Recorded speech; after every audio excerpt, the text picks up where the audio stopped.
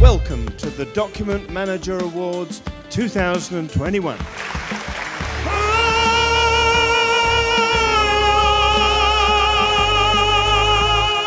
Service Support Company of the Year. Our runner up is Scansation. And our winner, Dave, is. And the winner is probably a new name to a lot of us, but we know the company. It's Dyanix.